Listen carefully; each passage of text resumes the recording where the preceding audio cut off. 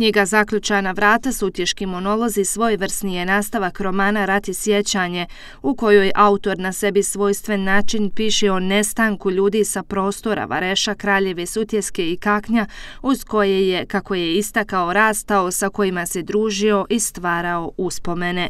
Kad su ti naši ljudi izašli iz, iz tih svojih prostora, izašli iz svoje dotadašnje povijesti, za njih su ostala zaključana vrata. Zaključana vrata kao kao simbol nestanka ljudi s naših prostora.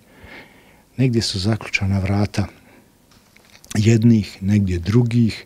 Na kraju to nije samo fenomen Sutjeske i Vareša, nije samo fenomen Bosne i Hercegovine, fenomen je ovih, ovih uopće prostora u regionu, kako se to kaže. Ostala su zaključana vrata i većina naših ljudi je negdje daleko na zapadu. Ovdje dolazi ili preko ljeta ili za neke blagdane i zapravo, zapravo dolaze na groblja, dolaze po svoje uspomene. Promotori knjige Alen Kristić i Hadžem Hajdarević su naglasili da je Željko karakterističan po svom pisanju i da se njegovi romani mogu promatrati kao književna katedrala Zavičaju, te da su ovaj roman mnogi nazvali testamentarnim romanom. Ovaj roman bi se mogao promatrati kao jedna sutješka kronika, Ona govori o kraljevoj sutjesci zajedno s Varešom u rasponu od nekih 50 godina. Dakle, to je jedna e, pozornica na kojoj se pokazuje kako taj jedan mikrosvijet živi, kako diše. Roman je zanimljiv zato što u njemu kroz 16 monologa progovaraju ljudi iz različitih, različitih milijeja.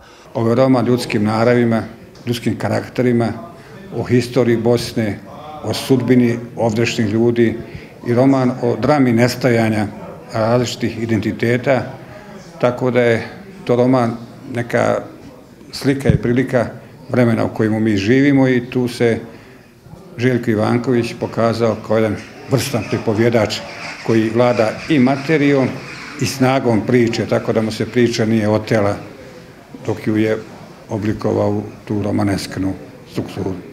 Željko Ivanković je bosansko-hercegovački i hrvatski književnik za kojeg stoji oko 50 različitih knjiga, romana, priča, poezija i eseja, te 15 knjiga koje su prevedene.